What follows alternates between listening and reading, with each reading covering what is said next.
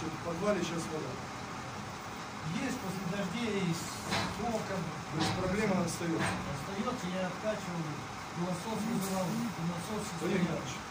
Давайте тоже вникнем более конкретно, почему все-таки вода есть. На следующей неделе мы в штаб, когда вы пройдете, обязательно спустимся в воде. Так, у вас какие вопросы есть?